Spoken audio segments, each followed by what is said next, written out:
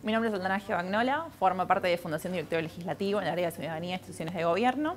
Eh, nosotros trabajamos desde el año 2013 con la Nación Data cargando las declaraciones juradas de los legisladores nacionales. Eh, esto lo hacemos básicamente porque entendemos que es importante que esté publicada la información del patrimonio de los legisladores de manera accesible y fácil de entender.